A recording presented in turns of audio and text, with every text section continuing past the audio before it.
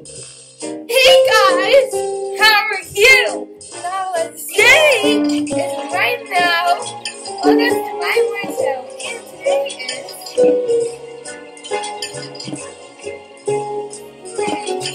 Sunday. And show y'all